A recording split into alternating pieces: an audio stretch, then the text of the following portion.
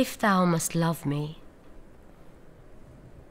let it be for naught except for love's sake only.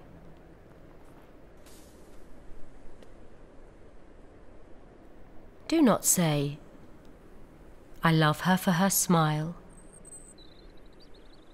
her look, her way of speaking gently, for a trick of thought that falls in well with mine,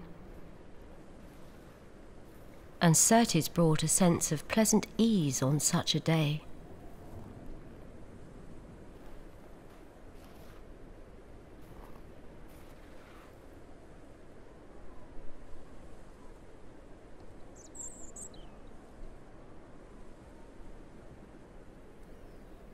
For these things in themselves, beloved, may be changed, or change for thee.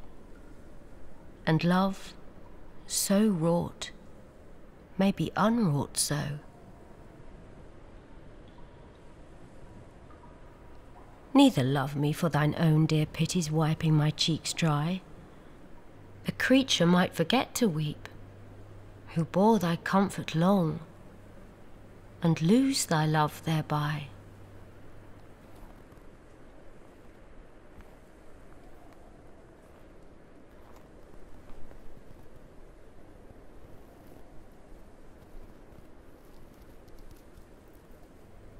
But love me for love's sake, that evermore thou mayst love on through love's eternity.